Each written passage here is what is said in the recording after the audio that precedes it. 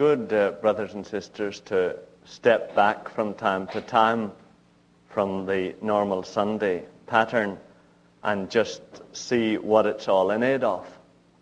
And so it's good to step back and ask yourself, really, why are you alive? And why am I alive?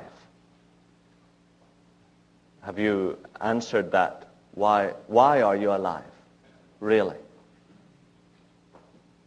I think a lot of us in these days have been taught to answer, oh, well, I'm alive to live the best life I can. That's why I'm alive. Or I'm alive to do the most good I can in this world. Or some of us say, or we're taught to say, I'm alive to leave the world a better place than I found it. And do you see that all those variations on good, better, and best come from one place that God told us we shouldn't eat? You could see it, you know, if you look at it in Genesis 3. Genesis 2 and 17, really. 2 and 17. Genesis 2 and 17. But of the tree of the knowledge of good and evil you shall not eat, for in the day that you eat of it you shall die.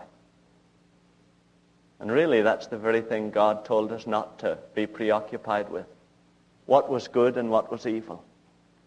And yet, we're so saturated with that whole attitude that we ought to be good and we ought to avoid evil that we tend to explain the purpose of our own lives in terms of doing good or living by the golden rule or leaving the world a better place than we found it. Of course, it brings us into a terrible slavery into trying to live up to the good that we think we ought to live up to. That was what men first thought at the very beginning. All they needed was a knowledge of good and evil, and they'll do the rest. And so you and I have been preoccupied with our understanding of good and evil for generations. And of course, it has done us no good because we haven't been able to do good and avoid evil. But why are you alive? Well, God told us it all very plainly really, in this book. If you look at it, it's in 1 John. 1 John chapter 1. It's about a page 1065. It was 1065. 1 John chapter 1 and verse 3. 1 John 1 and 3. That which we have seen and heard, we proclaim also to you and then here's the reason we're alive. So that you may have fellowship with us. And our fellowship is with the Father and with his Son, Jesus Christ. Our fellowship is with the Father and with his Son, Jesus Christ. And that's the reason God made you. God didn't make you to be a great doctor or a great teacher. He didn't make you to leave the world a better place than you found it. He didn't make you primarily to minister Jesus' life to other people. He made you to have fellowship with himself and with his son. Now that's it, don't. God didn't make you so that you could be saved or have your sins forgiven. God didn't plan the whole business of hell just so that he could save you from it. God didn't make you even to take part in a Christian corps or to be part of a campus church or to be part of some other church. God didn't make you just to be a good Christian. God made you because he wanted your company. Now, brothers and sisters, do you see that that's really true? That God made you because he wants your company.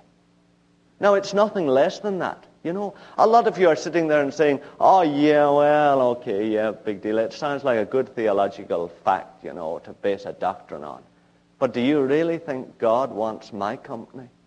Loved ones, that's it. God made you because he wants your company. He loves you. He treasures you a lot. He thinks a lot of you.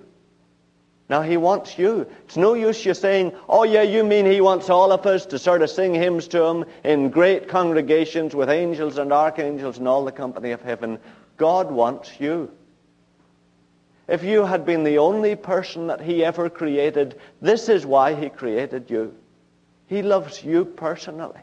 He knows your name. He has the hairs of your head numbered. He wants you for his own friends. Now that's why he made you. Now every other purpose in life is less than that, loved ones. Okay, make the money if you want, you know. Get the social security if you want, you know. Get other friends. Get good jobs. But do you see that all those are, have nothing to do with the reason for which you were created? God made you because he wants your company. Now, not because he needs you. Don't get him wrong. Not because he needs you. God had plenty of good company at the beginning. Now, you, you can see that if you look at Genesis. Genesis chapter 1 and verse 2. Genesis 1 and verse 2.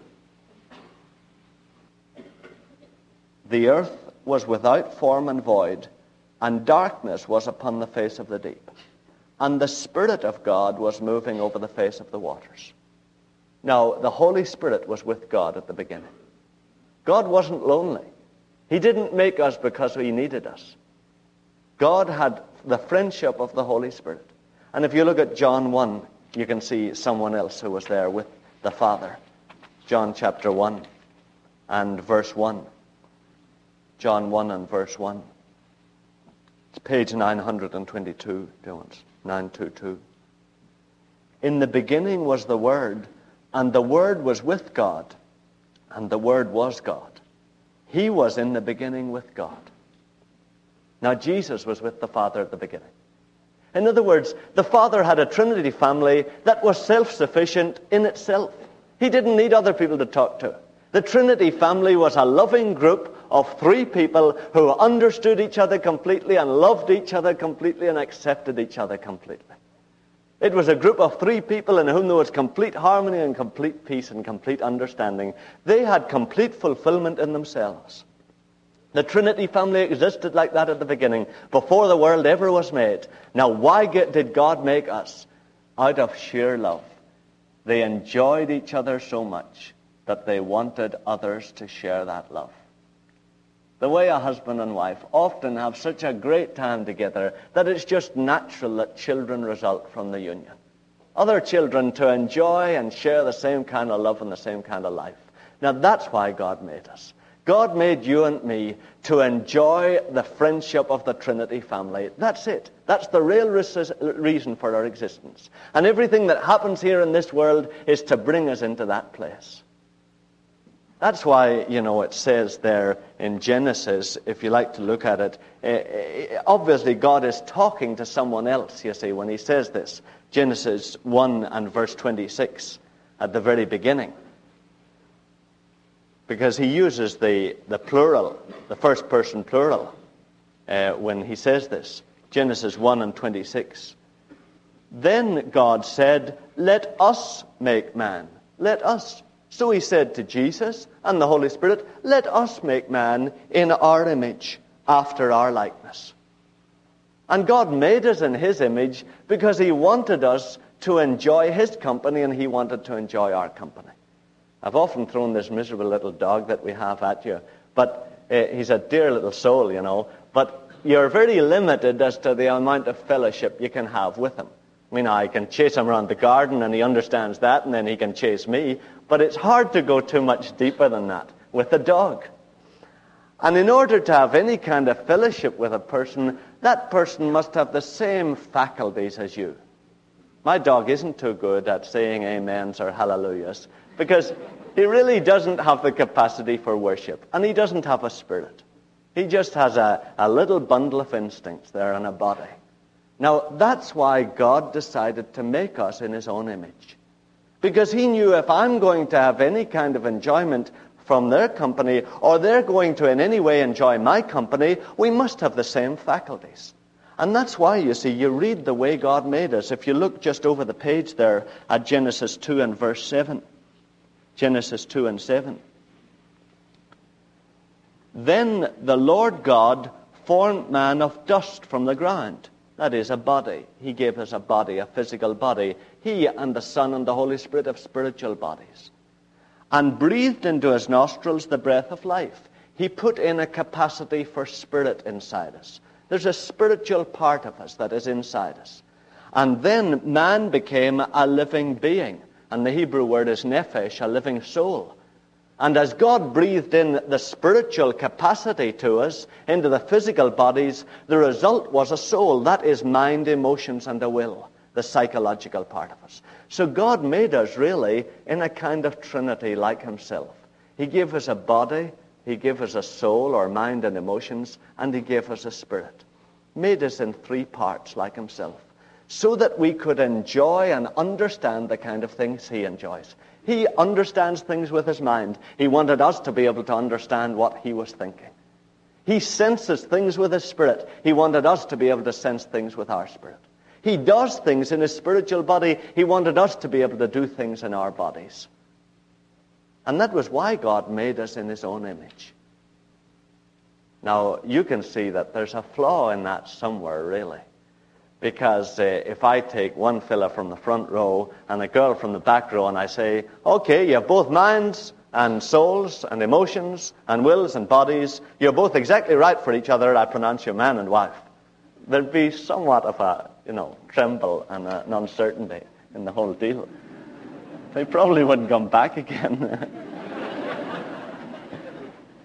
It's not enough, you know, that you have the same faculties. That doesn't make you fit for each other's company. It doesn't make you able to bear each other's company. It doesn't make you able to enjoy each other's company. And so it was with God. God gave us the faculties to be like himself. But in order to be really like him, we had to use our free wills. Now, brothers and sisters, God then made us more like himself in that he gave us free wills.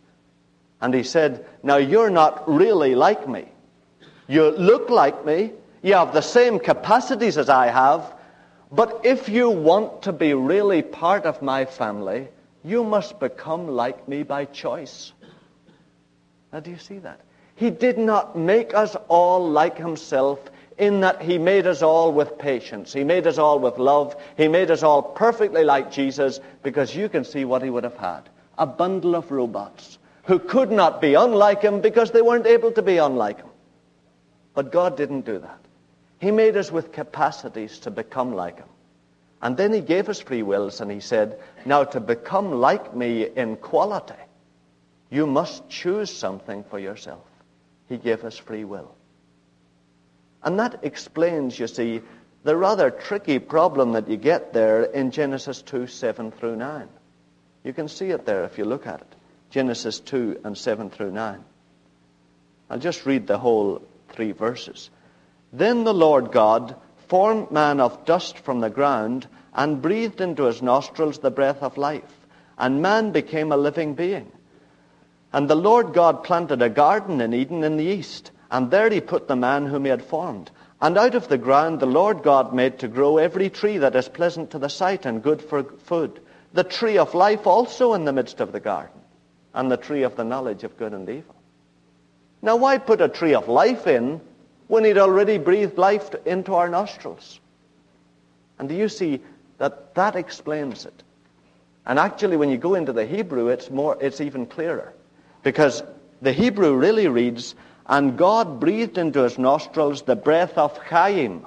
And Chaim in Hebrew is the plural of the word life.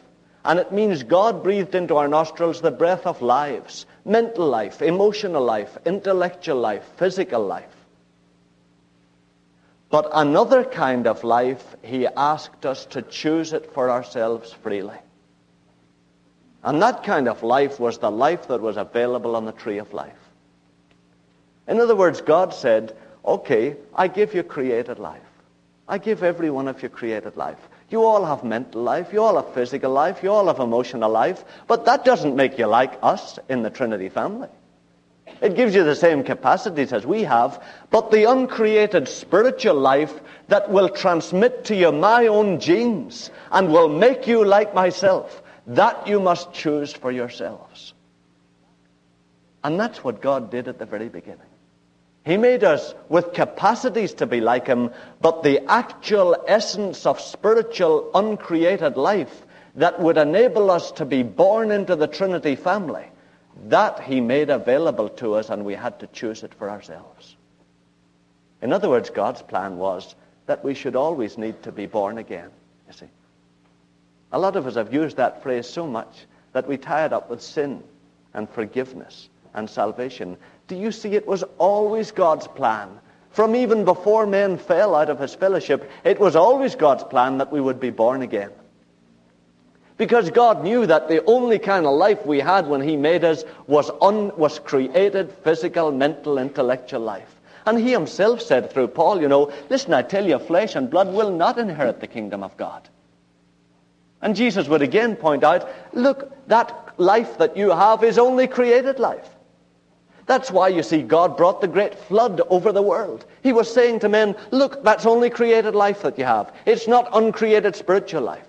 It's only created life. It will not last beyond 70 years. But of course, Satan kept trying to persuade man, and you can see it there, you know, in Genesis 3. Genesis 3 and verse 4. Genesis 3 and 4.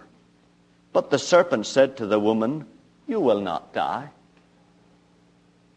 And Satan came and suggested, Listen, that life that you've got is all you need. That physical, mental, intellectual, emotional life that you have, that's all you need to have a successful life in this world. You won't die. Don't believe God. That stuff will go on forever and ever. loved ones, do you see that a lot of our attitude in our lives is built on that? We're determined, you know, to kind of prove to ourselves, no, we won't die, we won't die. This created life is enough. You know, there's nothing so ridiculous, is there? And you might disagree on this, but I think there's nothing so ridiculous as the way we apply cosmetics to a dear person who has just died. No, there is something so wrong about it, you know. There is something so wrong about we're trying to remember him as he was, you know. Really, in our own hearts, we don't want to accept death. We don't want to face death, and we're continually saying, no, no, he's not really dead. He's not really dead. You go to a funeral, they'll talk about anything but the person who has died. They'll talk about the twins' games. They'll talk about the summer and the weather. They'll talk about the poor spring. They'll talk about their jobs. They'll check up on all their relatives and find out how everybody's doing. But they won't talk about the dear one who is lying in the casket. And do you see that all along Satan has been involved in trying to persuade us all, look, this life is enough. This life is enough. And really God has all along been saying, look, the flood, it proves this life isn't enough. I wiped everybody out except Noah. And God continually brought great judgments on mankind. He brought the judgment of the Tower of Babel. He brought the exile to the Israelites. He brought persecution to the Christians continually to bring home to them, look, that life that you have is only created life. It's not uncreated spiritual life. There is only one person who has only begotten life, and that is Jesus. He's the only person who has this uncreated spiritual only begotten life that lasts forever. And he was really the tree of life, you see. He was really the tree of life. That's why when he came, he made not such a big deal of just sins and salvation, but he continually said, I'm come that you might have life, and that you might have it more abundantly. He said, He that has the Son has life. And he was talking about this spiritual, uncreated life of God. And really, we call it in these days the life of the Holy Spirit. And when your life is not going right, it's because of a lack of uncreated spiritual life. Do you see why it's so stupid to fight each other over, well, I'm a good Christian, or I'm not a good Christian, or I'm a good atheist, or I'm not a good atheist, or I'm a good agnostic, or I'm a good humanist. It doesn't matter whether you're a good Baptist, or a bad Lutheran, a good Methodist, or a bad Salvation Army member. It doesn't matter what you are. The thing is that all of us need that only begotten, uncreated spiritual life. Otherwise, we die out after 70 years. Now, loved ones, you can look at it. Just count the wrinkles, you know? Count the gray hairs, and you'll see, you're right. This created life is not increasing too much. It's not really improving me. And you know, you can check it another way. There are real marks of that created life. The marks of that created life you can find there in Galatians if you look at it. Galatians 5 and 19. And it actually does tie it up, you know, with the fact that it is just physical created life. Galatians 5 and 19. Now the works of the, it's page 1015, 1015. Now the works of the flesh are plain.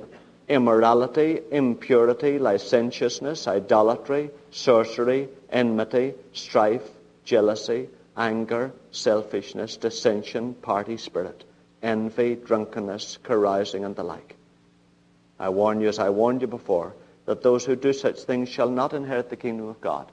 Because they're not being good enough? No, because all they have is created life. They have not the only begotten, uncreated spiritual life that comes through the Holy Spirit. And what are the marks of it? Well, you can see them there in Galatians 5 and it's 22. But the fruit of the Spirit, and the Spirit is the one that brings the life, is love, joy, peace, patience, kindness, goodness, faithfulness, gentleness, self-control. Against such there is no law. And really, that's the kind of life that is produced by this uncreated spiritual life. Now, brothers and sisters, there's a lot more to share about it, and I'll, I'll try to share it these coming Sundays. But first of all, I'd ask you, would you face that issue? Don't face the issue becoming a Christian. That's silly. Don't start fiddling around with whether you're a Christian or whether you're a Baptist or whether you're a Presbyterian or whether you believe this doctrine or whether you believe that doctrine or whether you're a Jew. The issue is, have you received the uncreated spiritual life from God? That is the only thing that will make us fit to take part in the fellowship of his Trinity family. And that's the real issue, you see. And it's not what name you go by. It's not what denomination you belong to. It's not even how you believe. But it's have you received this spiritual, uncreated life of the Holy Spirit so that you will never die and so that you will be fit to take part in the Trinity family. And that's really God's purpose for us. So will you begin to think about that? Because, you know, the time is gone this morning and we'll need to continue it the next few Sundays. But will you begin to think, okay, have I the marks of this uncreated spiritual life in me? Or have I only physical created life? Am I living under Satan's lie? I'll try to talk a little more about his lies and his whole approach to us in detail in these next weeks. But would you begin to think about it anyway? Just consider it. And the Bible makes a lot more sense when you read it in the light of this, really. Father, we can feel these hands and this body, and we know fine well that it doesn't look as if it's going to last forever. And Father, we have sensed a lack of something inside ourselves. So Father, if it is a lack of this uncreated spiritual life that was your plan for us right from the beginning of the world, will you convince us that that is the situation in our life? And will you enable us to go more and more to the source of this only begotten life, the only one who possesses it, even to your Son Jesus. Father, we trust you to lead each one of us this coming week to be clearer about our own lack or our own possession of this life that enables us to live forever and to become part of your Trinity family and fulfill the purpose for which we were made, to have company and friendship with the great creator of the universe. Father, we thank you for such a privilege. We want to be fit for that. We know we cannot be on our own. So we trust you to lead us into this for your glory and for reality and meaning in our lives. Amen.